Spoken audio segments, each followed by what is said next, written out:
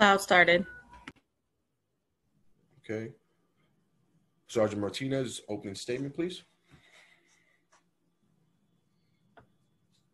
Good morning. Welcome to today's remote city council hearing of the Committee on Land Use. Participants at this time, please turn on your video and please place any electronic devices that may cause disruption to vibrate or off. Thank you for your cooperation. Chair Salamanca, we are ready to begin. All right, thank you. So, uh, uh, good, uh, good morning. Um, I am Councilman Rafael Salamanca, Chair of the Committee on Land Use, and I am joined remotely today by Council Members Adams, Reynoso, Grodenchik, Rivera, Deutsch, Ayala, Chair Moya, Barron, Koo, Lancman, um, Diaz, Gibbs, and Gibson, and Chair Adams. Um, I want to thank Chair Moya and Chair Adams for their work on our zoning and landmarks subcommittees. Today, we will vote on a number of applications referred out of these subcommittees. Uh, but before we begin, I would like to recognize the committee's counsel to review the remote meeting procedures. Thank you, Chair Salamanca. I am Julie Lubin, counsel to the committee. Council members who would like to ask questions or make remarks should use the Zoom raise hand function. The raise hand button should appear at the bottom of the participant panel. I will announce council members who have questions or remarks in the order that they raise their hands. Chair Salamanca will then recognize members to speak. I would like to remind council members and the public that there may be extended pauses if we encounter technical delays. We ask that you please be patient as we resolve any technical difficulties that may arise. Chair Salamanca will now continue with today's agenda items. Thank you. Thank you, Council. Today we will vote to approve LU 678 and 679, uh, the 5914 Bay Parkway rezoning relating to property in Councilmember Yeger's district. The application seeks a zoning map amendment to change an R5 district to an R6 slash C24 district and a zoning text amendment to map a mandatory inclusionary housing area on the east side of Bay Parkway between 59th and 60th Street with MIH option one and two and the workforce option. The proposal will facilitate the development of a nine story mixed use building with ground floor retail, community facility use, and, res- and residential use. We will also vote to approve five items submitted by the Department of Housing Preservation and Development. LU 666, the Weeksville NCP, is an application submitted pursuant to Article 16 of the General Municipal Law and 197C of New York City Charter for the designation of an urban development action area. An urban development action area project and the disposition of property to a developer selected by HPD for property located at 1559-1563 Prospect Avenue, Brooklyn, in the council district represented by council member Ampry Samuels.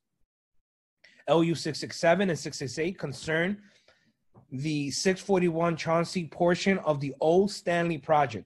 LU 668 was submitted pursuant to Article 16 of the General Municipal Law and Section 197C of the New York City Charter for the designation of an urban development action area, an urban development action area project, and for the disposition of property to a developer to, the, to be selected by HPD. LU 667 was submitted pursuant to Article 11 of, a, of the Private Housing Finance Law, requesting an exemption from real property taxes for the disposition area. Both items relate to property located at 641 Chauncey Street, Brooklyn, Council District 37. LU 669, the Old Stanley 2, was submitted pursuant to Article 16 of the General Municipal Law and Article 11 of the Private Housing Finance Law. In this application, HPD requests approval of an urban development action area project, waiver of the designation requirement of sections 197C and 197D of the charter, and an exemption from real property taxes for property located at 676 Central Avenue and 1277 DeKalb Avenue, Brooklyn, in Council District 34, which is represented by Councilmember Reynoso, and Council District 37, which is vacant. LU 670, Open Door Bed-Stuy Central and North 1 was submitted pursuant to Article 16 of the General Municipal Law and Article 11 of the Private Housing Finance Law. HPD requests the approval of an urban development action project, waiver of the designation requirements of Section 197C and 197D of the Charter, and an exemption from real property taxes for 16 properties located in Brooklyn, in Council District represented by Councilmember Cornegy.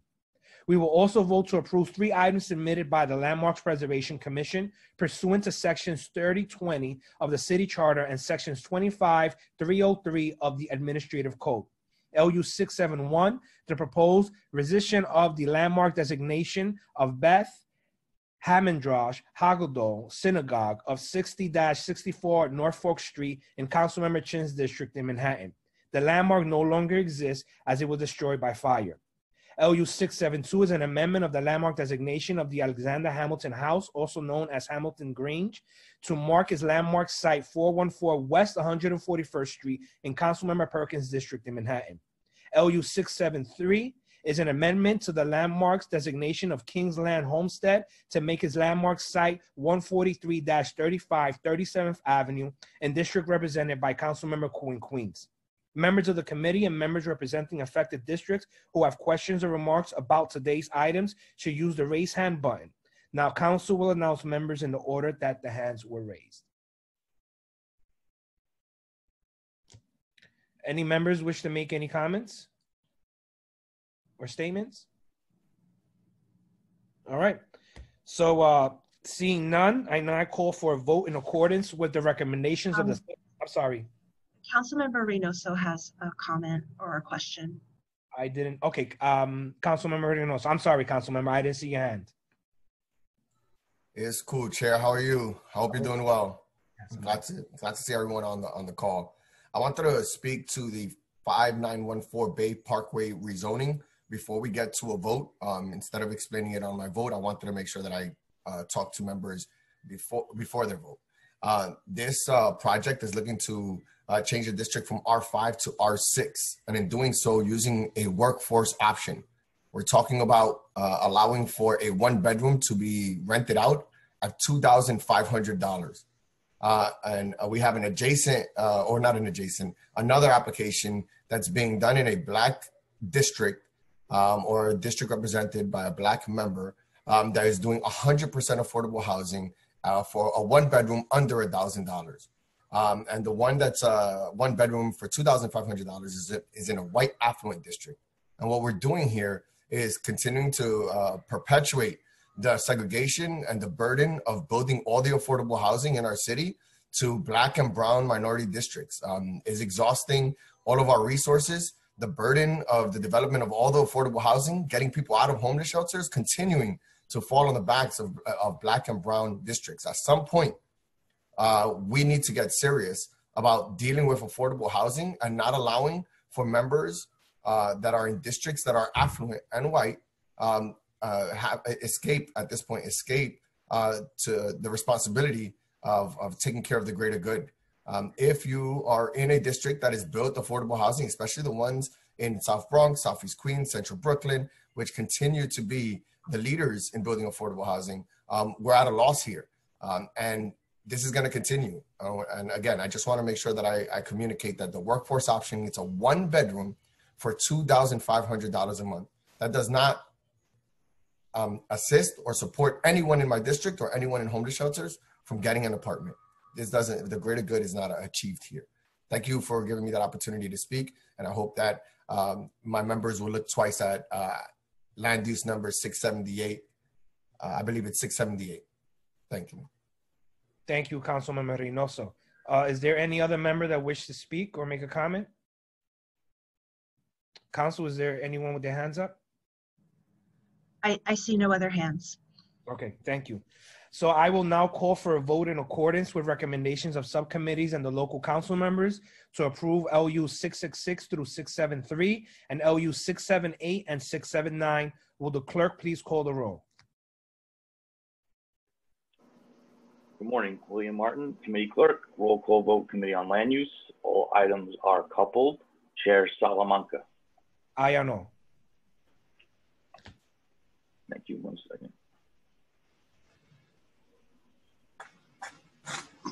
Gibson. How about I? Thank you. Barron. Permission to explain my vote. Councilmember Barron to explain her vote. Uh, Thank you, Mr. Chair. I just wanted to comment, I support the comments made by my colleague, Councilmember Antonio Reynoso, and I wanted to just comment additionally on item 670. It's a project located in Community District, uh, Community Board 3 neighborhood, where 29% of the population is considered severely rent burdened. And I went on ANHD to see what the uh, what the demographics were for that community, and the poverty rate there is 27%. There's been a decrease in the population from 2016 to two, no from 2018 to 2019, a decrease of 23%. And there's also similarly been a decline in the poverty rate of three percentage points. And I wondered about that and tried to make uh, an understanding of how that happened. And what happened was that there was a significant increase in the white population. So it's not that the Black population that presently lives there was able to find jobs and able to gain employment, but that another population came in displacing the existing population and that way impacting the poverty rate. The homes that are being offered in this project, three family home will range from 677,000 to $804,000. That's way beyond the reach of the majority of the population that's there. And for me, that means that that population would be uh, not eligible to apply for the program. And in fact, there would be additional displacement of the Black population. So for that reason, I'm voting no on land use 670, 678, 679, and any accompanying resolutions. Thank you, Mr. Chair. Thank you, Councilmember. Councilmember Deutsch. I vote aye in all. Councilmember Koo. I vote aye on all. Lancman. Aye. Thank you.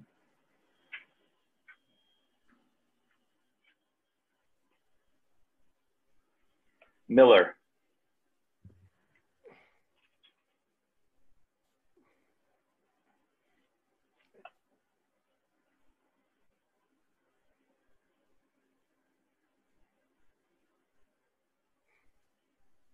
Councilmember Miller.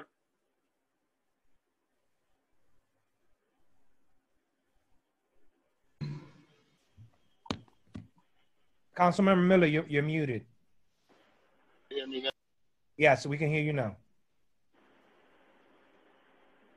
You're muted again, Councilmember. Iron, iron ore with the exceptions of six, seven, eight, six, seven, nine. On those, I'll be abstaining. Did you get that? Yes, thank you, thank you. Reynoso. Permission to explain my vote. Councilmember Reynoso to explain his vote. Also, just want to mention before I vote that uh, this council was entertaining the idea of uh, of removing or objecting to member deference in a brown and black community in uh, in Industry City, uh, and when it comes to member deference in other areas that are not black and brown, it seems like um, it's still holy grail. And I just want to make sure that the double standard there is something that we acknowledge and pay attention to. But I want to vote aye on all with the exceptions of land use items number 678 and 679. Thank you. Thank you.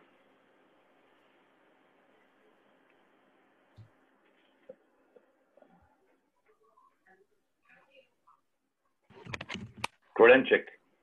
Aye and all. Councilmember Levin. Um, if you can come back to me in a moment, I'm just getting a little bit of clarification. Sure. No problem. Adams. I vote aye. Ayala.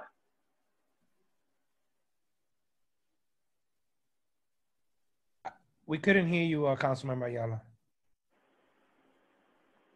Sorry, could you come back to me in a second? Sure. Diaz. Sí en todo. Moya, I vote aye. Rivera, Aye.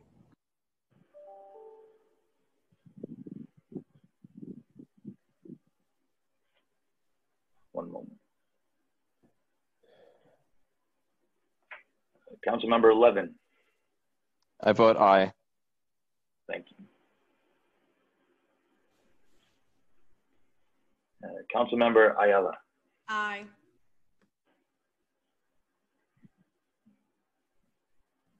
thank you. One moment.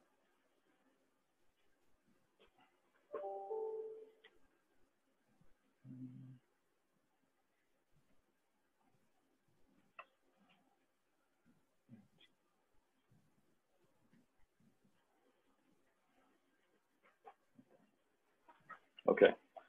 All items on today's land use calendar have been adopted by a vote of 15 in the affirmative, zero the negative, and no abstentions, with the exceptions of the following land use items. LU 670 is adopted by the committee, 14 in the affirmative, one in the negative, no abstentions. And land use items 678 and 679 are adopted by the committee, 13 in the affirmative. Excuse me.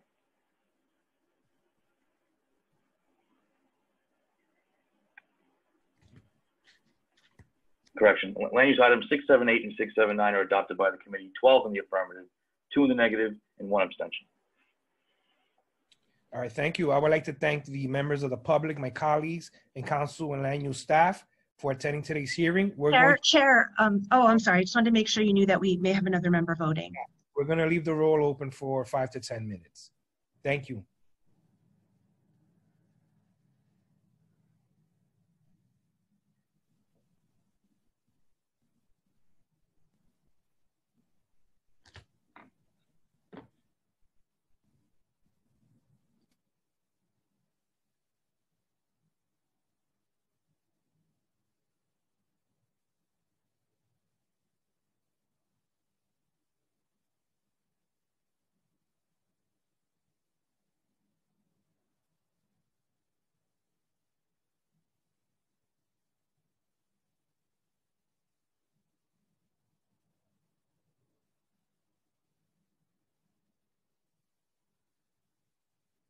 Hi.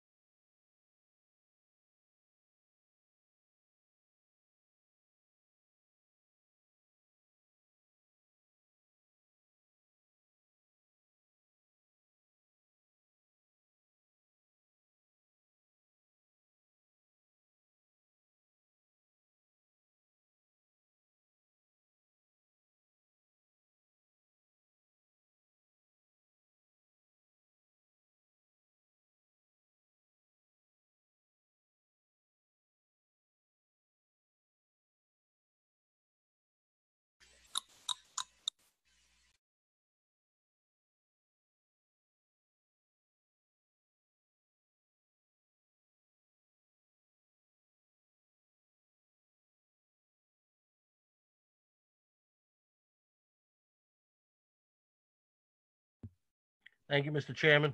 Thank you all. Barry, it's great seeing you. Que viva la Bronx.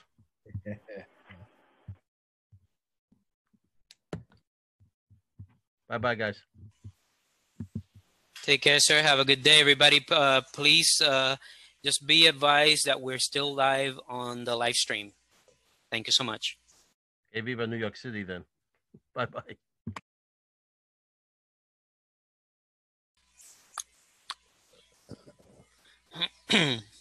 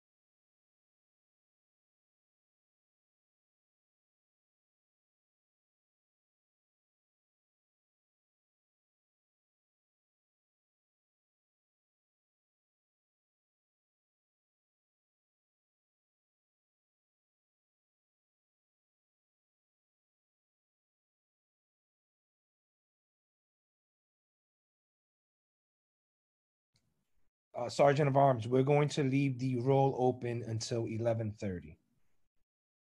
Four more minutes. Not a problem, sir. We'll uh, keep it rolling.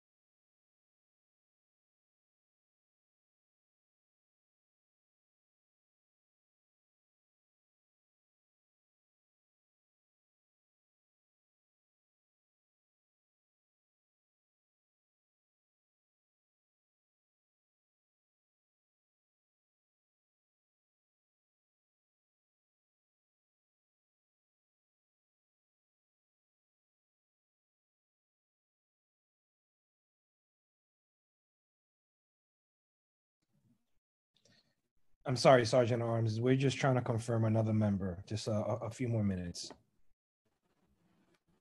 No problem. No problem. worries, Mr. Chair.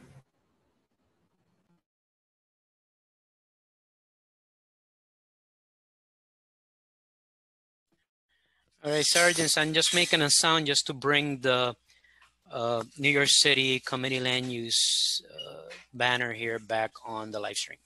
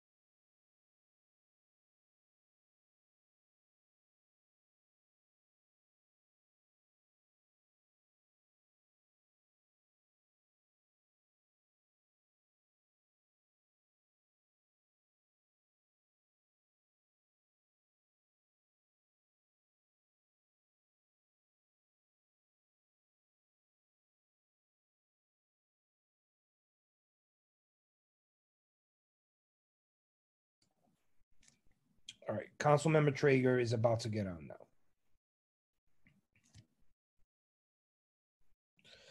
now. Hello? Councilmember. Hey, good. Thank you, Mr. Chairman. Really appreciate you. Um, and uh, I, I vote aye. Thank you, Councilmember. Thank you. Okay.